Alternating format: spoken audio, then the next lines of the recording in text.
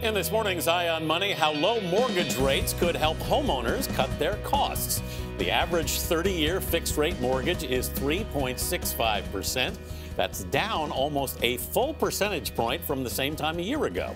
Almost 63% of mortgage applicants are homeowners looking to refinance. CBS News business analyst Jill Schlesinger is here with some advice if you are thinking about refinancing. Jill, good morning. Good morning. So, if you are thinking about refinancing, what do you need to know here? Well, obviously, rates are lower. And so, if you've got a higher rate than that 3.65%, that might sort of pique your interest. But as you know, every single deal when it comes to a mortgage involves costs. And closing costs on a refi can be 2 to 5% of the loan amount.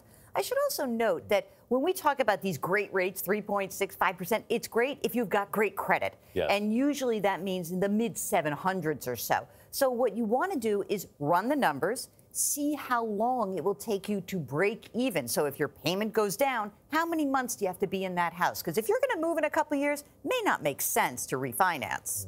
A lot of people are doing kind of debt triage. They got the mortgage debt, they've got the credit card debt, they got the student loan debt. Can you refinance the mortgage to pay off other stuff? You can, and of course, that's really intriguing because if I have a 22% outstanding credit card balance or even a student loan at 6 or 7%, and I can get a 3 and 3 quarter percent mortgage, sounds great.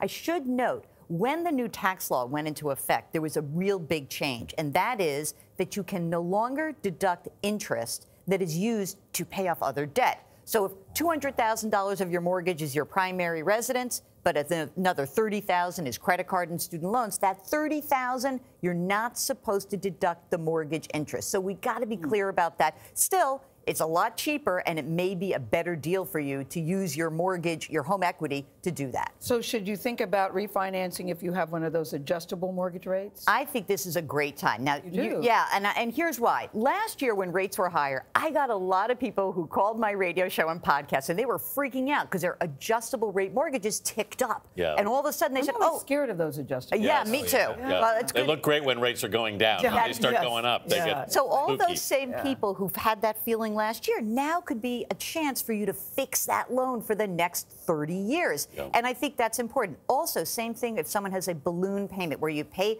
a fixed rate for 10 years, but then 10 years from now you're going to have to pay a big amount. Well, maybe your situation has changed. Maybe you're not going to move. Maybe you're not going to have that influx of money.